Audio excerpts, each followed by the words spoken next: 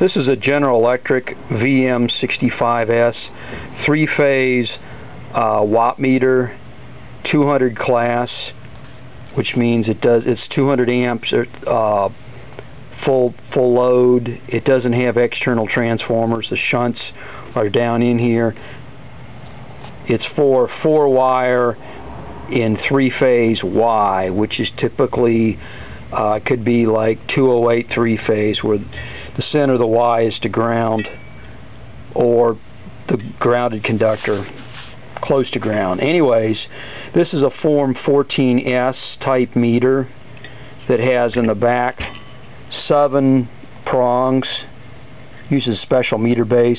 There's some older ones that have five prongs, a little bit more dangerous, called a 12S uh, which one of the hot wires goes completely through. If you pull the meter, it's still hot, so that's really dicey. But this is a form 14S that all the hot wires go through. Uh, so if you pull the meter, basically uh, the circuit's off.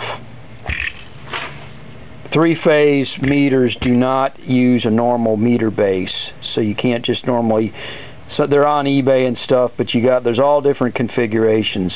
This is called a seven jaw or seven pin.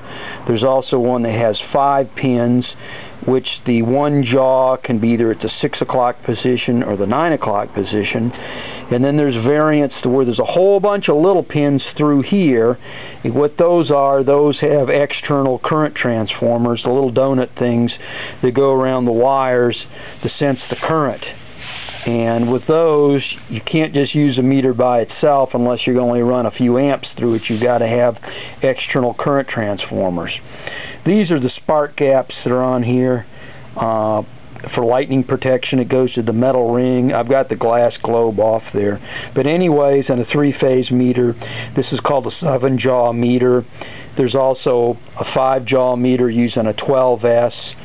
Um, this reads out in kilowatts here, and this is a demand meter also. And what that means is that when you're using uh, electric power, this particular meter is calibrated so the interval period is 30 minutes.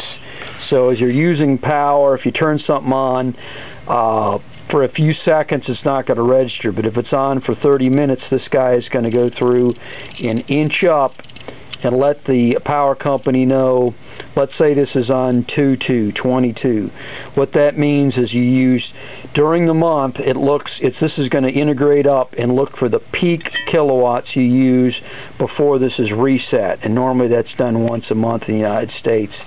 Uh, a guy physically has to come by and go through and through the glass going to reset the meter like that. So the next month you might not use your air conditioner because it's in the winter time and maybe you only go up and you use 8 kilowatts max. And so the billing on a three-phase meter is often on what they call a demand meter.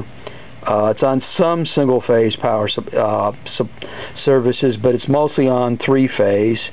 Um, it looks at your total power you use for the month in kilowatt hours, plus they ding you for if you use too much kilowatts at one time. Uh, that's because they've got to have bigger transformers. And so the billing scheme looks at the total kilowatt hours you use in a month like on a normal home meter, plus it goes through and they use, if you use too much, at the same time compared to your kilowatts the formula is a little bit contrived but it goes through and it dings you more. Basically if you had a peak a very low number of kilowatts instantaneous and you use a lot of kilowatt hours it might be like a bunch of street lamp lights hooked together and it's a continuous load. They know how to plan for it. But if you have a real peaky load like all of a sudden you turn on a giant 100 kilowatt motor and it's on for an hour, this thing is going to go up and measure 100 kilowatts. It's going to turn all these dials around, and then if you don't use any for the extra, the whole part of the month, they're going to go, and you're going to pay a higher, uh, higher rate per kilowatt hour because they had to have a transformer size for that peak load. Anyways, during the meter reading scheme, the guy goes through on the uh, glass globe, and he turns the steel, resets all these to zero, and the time interval on this one is a 30 minute time interval. Some of them are 15 minutes, which means if you turn something on for a few seconds, it's going to tend to bump this up. But if it's on for 30 minutes, it's going to go up to the full uh, fifth time constant of what the power you used. And this is a, again, a class 200 meter. It's got shunts inside on here, so there's no external uh, transformers. It's a four wire, uh, three phase in Y. I think this meter is from the 70s. I'm not really sure. Um, it's got the light load adjustments here for fast and slow. Over here it's got light load fast and slow. There's two adjustments on a three-phase meter and for for light load and then you have a power factor adjustment here and you've got a power factor adjustment here. And I think there's another adjustment on here for full load. I'm not sure exactly where it is. But anyways this is a fairly complicated meter. It's really a big meter in a sense. This thing with the glass globe is is about 10 11 inches with the prongs. And um, there's all different types of these meters that are made out there. But you just can't plug one a three-phase meter into a single-phase socket. A single-phase socket generally has a set of, in the United States, has a set of prongs here, and they've got some in the outboard, and there's none of this middle stuff. Uh, this is a, what they call a Form 14S, which kind of gives the configuration of a meter. Uh, these two prongs are using an, uh, this might use the A phase, this might use the B phase, this might be used the C phase. One of these is going to be tied to one of the uh, hot phases or perhaps the neutral, depending on how it's wired. I'm not really sure on that. But uh, there's a lot of different configurations on the way these meters are wired up. And uh, anyways, this is the General Electric VM65S. Here's the slow and fast position here. It's called a two-stator watt-hour meter. And this, of course, is made in the United States. And the demand on here integrates up. It looks for the max usage, max kilowatts during the interval which it's measuring, which means if you go a month and this hasn't been reset, it's going to go ahead and read whatever it was. Maybe it's 2 in the morning, somebody turns a whole bunch of junk on, and this thing goes up and it's, say, 30 kilowatts instantaneous over 30, 30 minute period. It's going to stay like that till a meter guy goes through and resets that. And you don't want to reset that yourself because you get in really big trouble because you're violating the agreement. They can go ahead and pull your meter. They can probably charge some huge amount. But anyways, this is a, an analog meter that's a three-phase, what they call in the industry a seven-jaw meter, because there's seven pins on here. The other one is called a five-jaw meter, which is for three-phase, which is an older type, more dangerous, which has got two pins, two pins, and then there's a fifth sense pin that can either be at the 6 o'clock position or the 9 o'clock, and it's not turning off one of the hot phases. So in some areas it's been banned. It's a little bit more dangerous because if you pull a meter, the customer side is still hot, so somebody can get, get killed, knocked on their butt, or whatever. But anyways, this is the 14S, the Form 14S meter. Class 200 means the max number of amps. It's 120 volts, uh, four wire in Y, which is typically a 208 uh, three-phase delta, three-phase in Y, excuse me, like for a restaurant, like a McDonald's. Test amps is 30. That's the amps which they test generally the full load setting.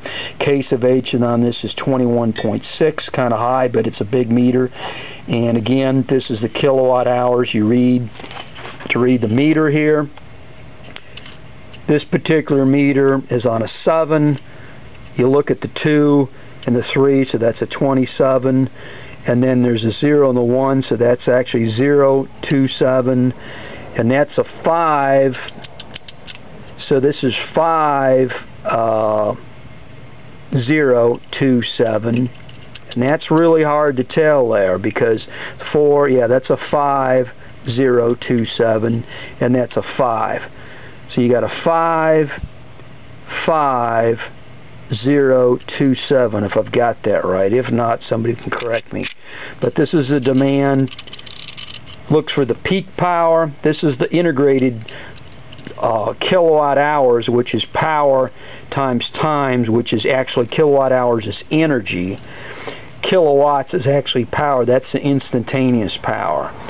And uh, it'll sit there and integrate up over a 30 minute period basically on this type of meter there's a heater that goes on there or a little gizmo that goes through and it low passes it which means it's not going to look for something. If you just kicked on something like a motor starter starter and it takes a whole bunch of power like an air conditioner for the first few minutes or maybe first few seconds it's not going to move this much or any. But once it's on over a 30 minute period it's going to go average up and then it's going to go through and that's what they've got to size the transformers for. Uh, this is based on heating and actually the load they have so this has got a interval on this is called an M60 register. Interval is 30 minutes on the demand. This type of meter, you can change this to be probably 15 minutes or an hour for the demand portion. And uh, there's a whole bunch of different things on this.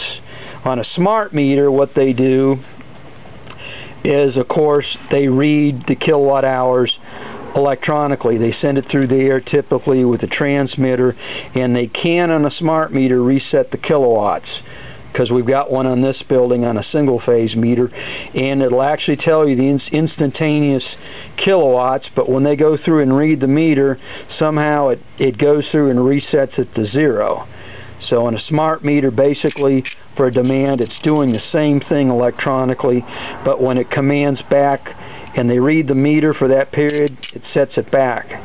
And so